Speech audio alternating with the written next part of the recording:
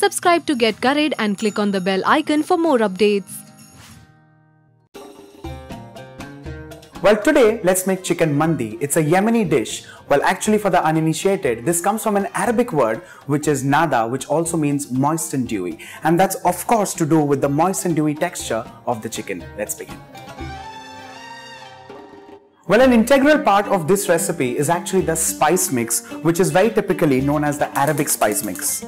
For that, I'm going to take a few ingredients. Let's first begin with heating a pan and adding in some coriander seeds. Along with this, some cloves, pods of green cardamom, cumin seeds, sticks of cinnamon.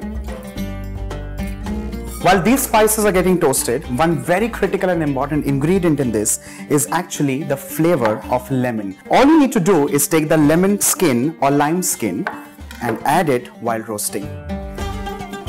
Continue roasting this and then you're good to go. Once this is done and ready, off goes the flame and allow this to cool down completely and the next step is grinding this into a coarse to fine powder. The spices have cooled down and are relatively manageable now. Let's transfer this into a grinder. Well, along with this, two very, very critical ingredients. The first one, of course, is turmeric powder. And along with this, I'm going to add in saffron powder. Well, saffron powder in the Arabic world is actually a mixture of saffron and yellow food grade color, but nevertheless, you can also choose only to add in saffron because this recipe also has turmeric.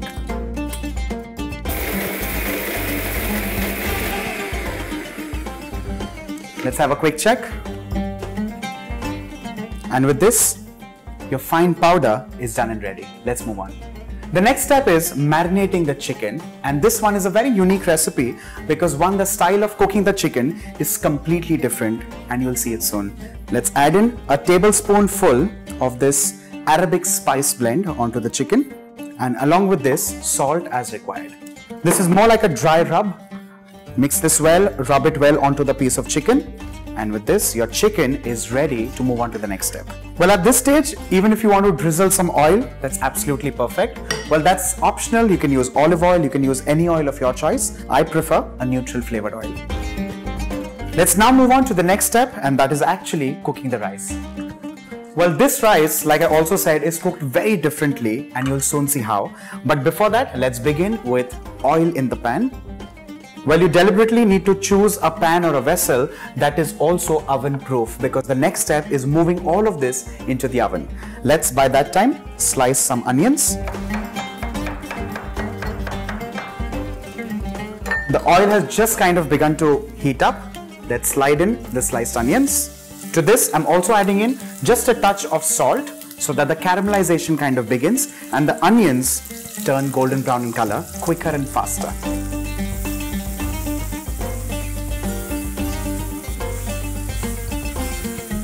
Just when the onions kind of turn to begin golden brown in color, let's move on to the next steps and that is adding in a few spices and raisins. Let's move on. The first spice that I'm adding in are some green cardamom pods. Along with this, some cloves. To this, let's add in a stick of cinnamon. And along with this, let's bring in that burst of sweetness and that is golden raisins. Let's give this a mix and allow the raisins to swell up like little balloons and then we'll add in the rice. Well, technically not required, but I'm just getting a little tempted to remove a few brown onions and use that as a garnish later. So let's do that and it's completely optional. Let's move on to the next step and that is adding in the washed and soaked rice.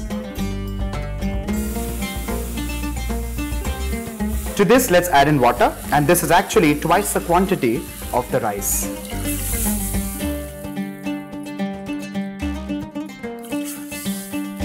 Let's also add in salt as required. Stir this well and while you're stirring, we also need to add in the spice mix that was made earlier. Well, because of the spice mix, it's going to get a little brownish yellow color and that's exactly what is required. One final stir and now here comes the trick of cooking a classic chicken mandi and that is actually by placing a rack on top of the vessel. And this is the exact reason why initially I had asked you to use an oven proof vessel. I'm placing the chicken on top of the rack The next step is transferring this entire apparatus in the oven and cooking this at 180 degrees Celsius for a minimum of 30 minutes or till the rice and the chicken are both well done. Let's move on to the oven.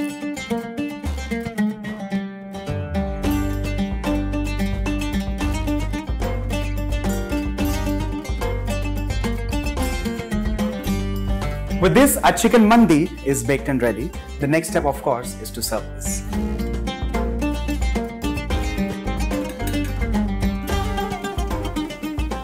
The next step is to place this gloriously roasted and steamed chicken right on top and garnish this with the fried onions and raisins and along with that some pistachios for color.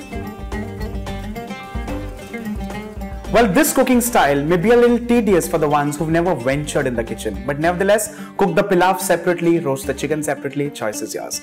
On that note, do not forget to like and share the video and subscribe to get curried.